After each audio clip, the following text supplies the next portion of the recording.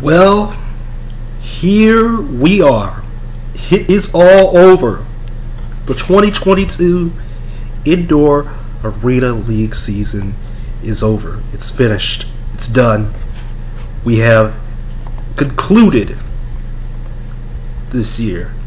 And I gotta thank everybody involved in, you know, all the leagues, all the different guys that, you know, help make this game great. It's not just me. I am just one person here. I do, I do have a couple of things I want to say towards the end of this video, uh, however long this may be. But what a season, man. What a season.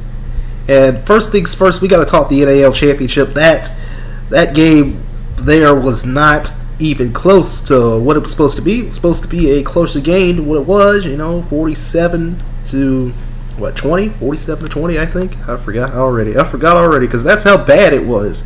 That is how bad it was for the carolina cobras. They got whipped tonight by the albany empire. They got whipped at albany.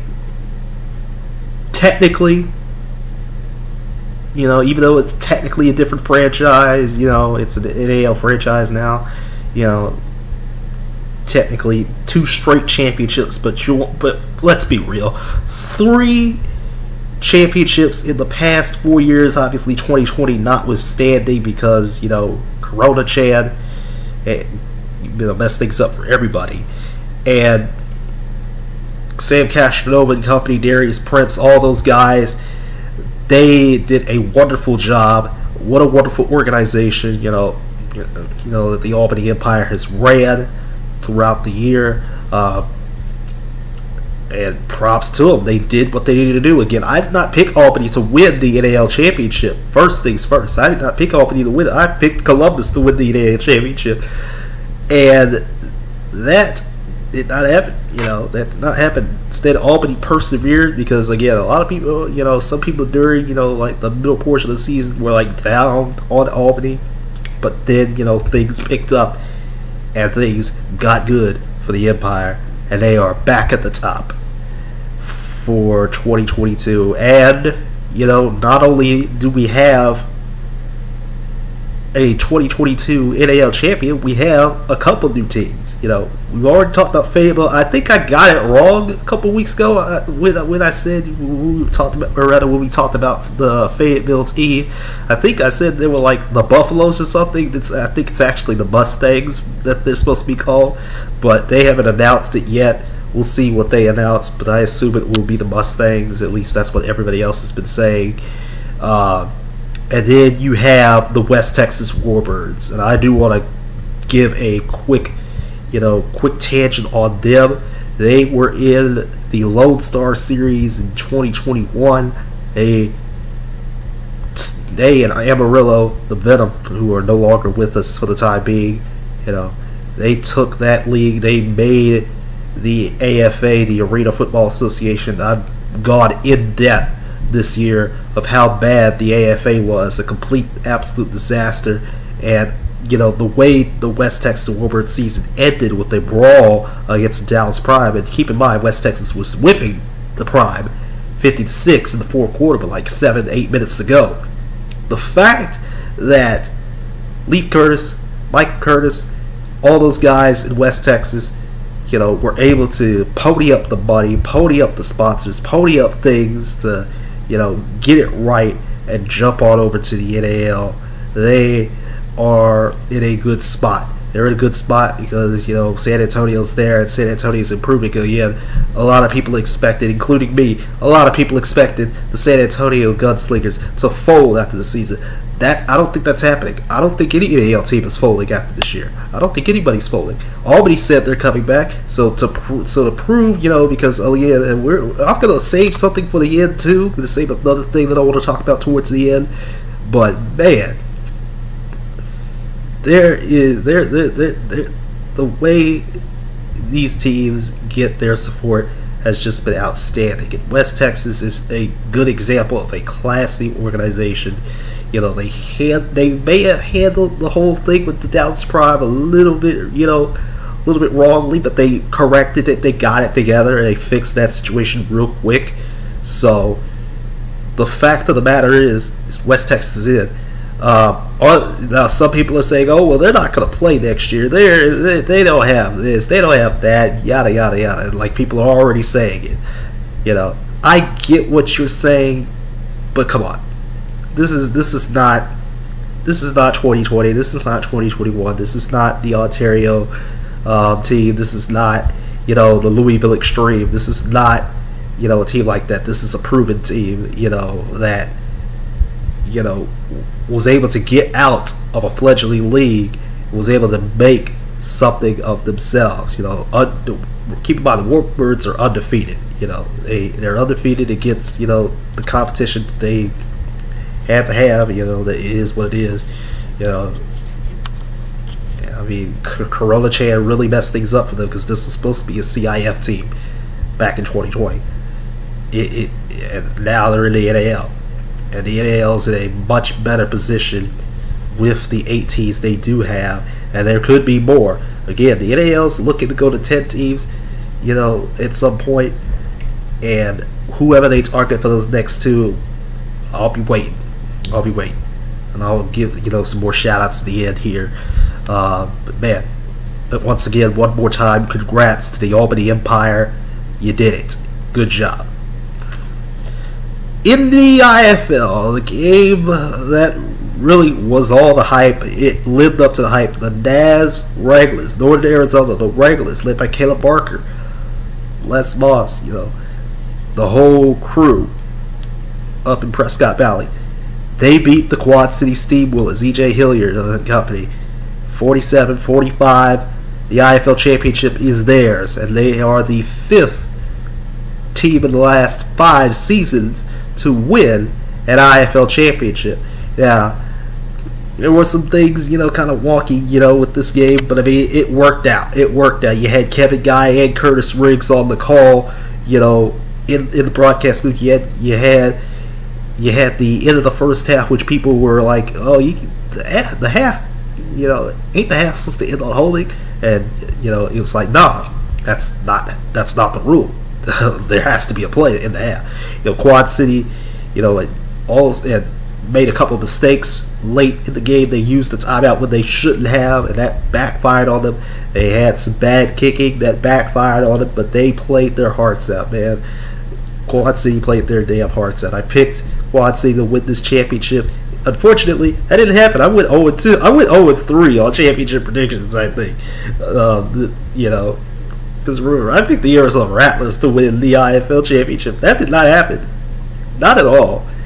And I mean, congrats, you know, Vegas. You know, it wasn't completely full, but it was it was a high energy, high fun, high electricity cloud, you know, that was able to make the best of what it did. And I gotta tell you, for its team that was worst in the league last year. A lot of people predicted them to fold, including me. I, I predicted Naz to fold last year, and that did not happen. Uh, going from worst to first has got to be, you know, one of the best things to, you know, feel. That's an invigorating feeling right there from going from worst to first. Beautiful stuff right there.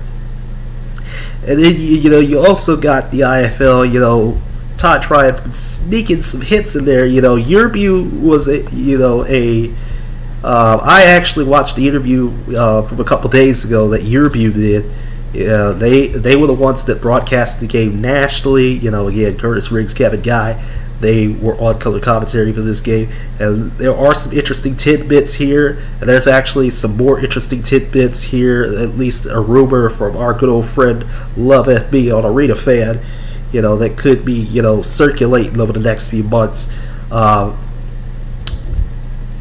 now, first things first, let's get to what Todd Tryon said on YurView. He said that, hey, we could have 24 teams in the near future. And although I've been kind of hesitant on the IFL over expanding, because remember, that didn't work a decade ago. It might work now, but it didn't work a decade ago. It didn't work a decade ago. It didn't work 20 years ago in the AFL. It didn't work a decade ago in the IFL. and now things are a little bit more stable. Who knows if anybody's folding next year? Who knows if Columbus is playing next year? There's a question about Bismarck, you know, now um, that Love FB proposed. Now, I don't know if that's true or not, but we'll see. You know, like, apparently Bismarck could be moving to Fargo, but who knows? Don't even, let's not even entertain the thought of Bismarck moving to Fargo, North Dakota right now, or anything like that you know, and rebooting in like 2024, as she said. But I mean, who knows? Who knows if that's going to happen? Uh, you know, there's still the whole Coachella Valley thing. Tulsa's still picking their team name out. Col- again, Columbus is the wild card here. We don't know what in the world they're going to do because there's a lot of things wrong with Columbus right now that need to be corrected, and I think they can be corrected, but we'll just have to wait and see what happens there. IFL's in a good spot. NAL's in a good spot. The league I'm worried about is the CIF right now. Um, bad momentum to end the season, and the off season's been quiet so far. Uh, they're gonna need something. They're gonna need something. The NAL has directly moved up for me, you know, in the uh, in the way I see things. Because I mean, this this is not what I expected at all. Nobody expected the West Texas Warlords to join the NAL. Um, a lot of people expecting Charlotte to join the Charlotte Thunder to join the NAL. We'll see if they can do it during the off season. I don't know if they can. They have the, they have the they have the guys that can, but we'll see if they can actually pony up the money to do something. There's also the Mississippi Raiders. That's another team. That's going to be interesting. You know, because remember, they took Greg Fenario's field, but luckily, luckily, luckily, luckily, Greg Fenario's got his field back, and that field is going to Fayetteville. That field is going to Fayetteville. Uh, you know, that is going to Fayetteville, and that's good. That's good for them. Um, you know, it is it is what it is it is what it is with you know that. So whatever that Fayetteville's team name is, they're they're gonna be playing on West um, West Virginia's field. And keep in mind, West Virginia is not coming back. You know, Fornario has made that pretty clear with the way the momentum was with Corona Chan. It's clear that that team is not going to come back at all. Uh, it might have, but I, I, I mean, there's just too much, you know, for that team to come on back. All right. There's a couple more things here before we uh, wrap this up. We got the Upland South Indoor Football League. That is a league that is existing. This is more of a fall league, so you know the fall leagues don't really get any coverage from me because again they it just kind of exists and they're like very very low on the totem pole. Like we're talking so low, you blink and you miss them. That's just what these kinds of leagues are. They're looking for teams in Kentucky, Tennessee, Virginia, Indiana, they're looking to release a schedule by uh, the middle of September. They have to; these teams have to put up six hundred dollars, you know, four hundred dollar league fee, two hundred dollar deposit by the end of September, and a potential start of the league could be the first weekend of November. Um, you know, it was the uh, there was a team that ripped off the Florida Gators logo by the name of Morristown. There was another team. I think I forgot. I think I shared it I think I shared it in Discord. Did I share it? Oh yeah, it's uh, the Kentucky Bandits. Yeah, uh, it is what it is. I think it's supposed to be like four teams or whatever. Um, honestly, I'll blink and I'll miss this league completely. But you know, um, it, it'll be cool to see you know what they can do if they can actually you know get off the ground, you know, and everything like that. Um, there's also another league that needs attention, and that's the AWFC. AWFC is in a weird spot right now. Tri City Rush, there was an email that got, you know, put out, and it leaked on the IFF, you know, that, hey, Tri City was like, hey, we are looking for a new league. We're looking for somebody new. We're, we're looking for better competition, stuff like that. The AWFC countered by saying, oh, well, everybody everybody's fine you know everything is good peachy hunky dory nothing's wrong here guys nothing's wrong at all um, they're trying to dispel the situation of a separation, but the seeds could be sown. And Tri City's also stating that they're looking for a new arena. Um, so we'll see if they can get that. We'll see what the AWFC does during the off season. Um, I don't know what they're going to do. Um, if they do indeed do something, you know, it is what it is. Um, so, and the other three teams in the league, the other three teams in the AWFC, you know, they have they've already got their 2023 season tickets ready to go. Um, the AWFC has their own problems that we'll all you know get into as the off season regresses and you know continues to progress all the way up until February, late February, early March. Um, so yeah, there's that. The last couple things I do want to talk about is um, fan engagement. The season with fan engagement was absolutely distasteful. Absolutely distasteful. I, I haven't had a rant on here in quite some time. You got new guys running inside the arena. Now, no disrespect to Stephen Earn. No disrespect to the man at all. Man built a, um, you know, man built something that he, you know, put his passion in for quite some time now. But the guys, you know, one of the guys that, you know, decided to, you know, or rather he picked to take it all over, um, you know, it, it is what it is. I, like I, I just I don't get his issue. I don't I don't get his issue. You may know this notorious commenter in the chats of of the IFL NALCIF games. You may know this notorious commentator or rather this notorious commenter. Excuse me. Um, now, you know, he got upset, you know, that, you know, the IFL and the NAL were going to have their championships on the same weekend, but that's that was the thing for months. You know, that that that's been the thing for months. You know, the NAL said this during the press release of their schedule, you know, way back in what when was the schedule released? Like January, December, around that time. It is what it is. IFL we know was going to be, you know, 2 weeks after the conference championships and even you know the press release and stuff like that and the move to Vegas and everything we knew all this stuff um and you, you got you got posts like that on Facebook and other posts that you, you that, that just uh, that just really hurt the integrity and keep in mind inside the arena don't get me wrong they they got some things right in the past they got some things right uh, other times you know it's been completely wrong to the point where it was comedy.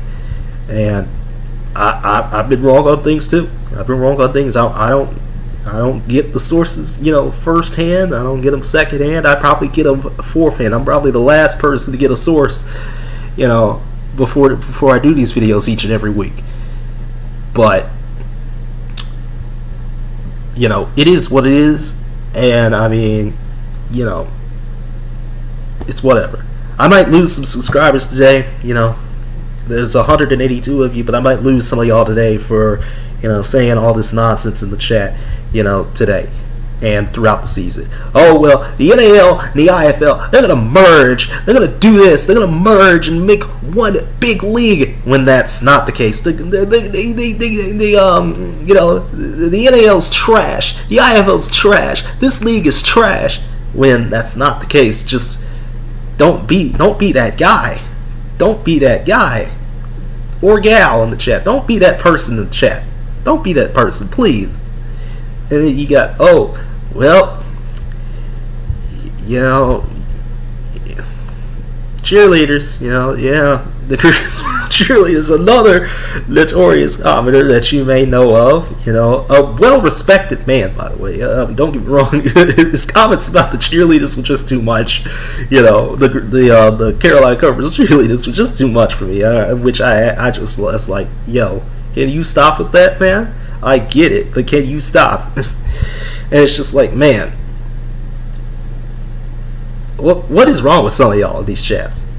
I get I get the bots are still there. I get the bots came back this year. I get you know I get that we are you know talking about the USFL. I get we're talking about the XFL. I get we're talking you know about you know other leagues that you know have to do with football that may or may not dilute the talent coming in 2023. But come on, some of the stuff y'all be saying in these chats are absolutely distasteful, absolutely horrendous, absolutely disgusting. And it's got to stop. Just talk about the game at hand. Oh well, the production values aren't there. Oh my god, the production values. This looks like a D3 college football game. You ain't seen no D3 college football game in your life, and you better stop crying. Stop crying. Oh well, the refs did this. The refs did that. The refs, the refs. They they they took my job. They took my house. They took my family. They took everything from me because they, they, they, they stop it. Stop it. Stop that right now. Stop complaining about the refs. I get it. I get it. There's ref ball. You know, I like to make jokes about ref ball, but when I, you know, and I like to call out ref ball when I see it, but I'm not going to make it a point to be like, you know, every five seconds. Oh, the refs did this. Oh, the refs did that. Oh my God, the refs. Oh, the refs. They they they manipulated the outcome of this game. Blah blah blah. Stop it. Stop that right now. You got to be out of your damn mind here. It's ridiculous. It's flat out ridiculous. I, I, I, I really can't with some of y'all in these chats sometimes. I really can't. Y'all, y'all are y'all are a different breed in these chats, but it is what it is. I, I will. I, I love all y'all. I love all y'all, but some of y'all just be saying too much just be saying too much stuff in these chats, you know. Um, I, I think I think that's all I gotta say, you know. There's a lot of questions, you know, going into the 2022 off season, heading into the 2023 season. Um, but I think some of these could be answered really quickly, some of these not so much, and some of these we're just gonna have to keep our eyes out on throughout the next six six-ish months we'll be you know talking you know doing our off-season videos uh, i do have a couple plans in mind i do want to try and get back to doing interviews again um, i may you know get may get some of the boys you know like jayhawk like jim like zach you know um, you know Dukon. I may get some of the boys together, and it depends on how things go. Because I, um, you know, I got a flexible job situation. But it depends on how things go throughout the off season, and I do want to get some people involved. You know, it'll help the channel, it'll help everybody else's channels, and it'll help you know grow the game. You know, I want arena football to be respected. I want arena football to be bigger than what it than what it was. You know, you know, I want arena football to be that sport that we talk about, you know, that more people talk about in the summer months instead of, you know, like baseball or, you know, or negative comments about the WNBA, not positive, because almost almost like 80, 50, honestly, like 65, 70% of comments about the WNBA are negative. Um, or, you know, anything else. And, I mean, it's, it's just, it's just been a blessing and an honor to do this once again, and I mean, I cannot thank everybody enough who has supported me, who will continue to support me, and who will be future supporters. And I hope you stick around for the college football season coming up, you know, as we discuss. And I moved the day up, I moved it up a couple days because the AP poll is going to come out on Monday, and we'll be talking college football, the preseason rankings, the top 25 preseason rankings, you know, the state of college football. That's I think that's what we'll call it because I did I did a similar title last year. You know, the state of college football coming, you know, to you um, on Monday. It'll probably be Monday night. Um, I do not know what my work schedule will be like on Monday, but I do know that I have some things to do early Monday morning, and then you know late you know, it might be late, might be a late night. I don't know. I'm gonna get things ready for that video on Monday night. And with all that being said, I hope you all enjoyed the 2022 Arena Indoor Football season. And I will see you all sometime in September to discuss whatever new news will be coming. Big Boy Sports signing out. See you soon.